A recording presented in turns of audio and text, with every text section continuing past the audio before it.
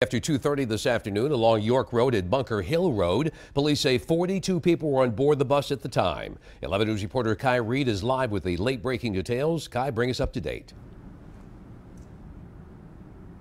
Oh yeah, oh yeah, you guys. Uh, we just got that um, word that the bus was moved upright and moved off of York Road here about 20 minutes ago. But I want to first off talk about the injuries. We're told that nine students were transported to hospital with minor injuries, extremely minor injuries. We're talking cuts, bruises, things like that. While the driver was transported to Sinai with more serious injuries, although we're told that she was conscious, alert, and talking at the time. The bus flipped over onto its side here on York Road, just north of Hereford High School, as it approached the big Gunpowder River Bridge. No other vehicles were involved, and the Baltimore County Police crash team will lead the investigation into why and how this happened.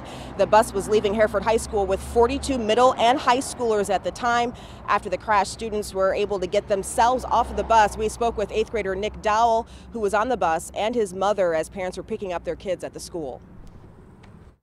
We were just going down York Road, and I'd look, I look ahead and see the uh, bus is swerving, and I just close my eyes, and when I open my eyes, the bus is on its side, and there's just kids all on the side where like the windows are, those cracked, cracked glass.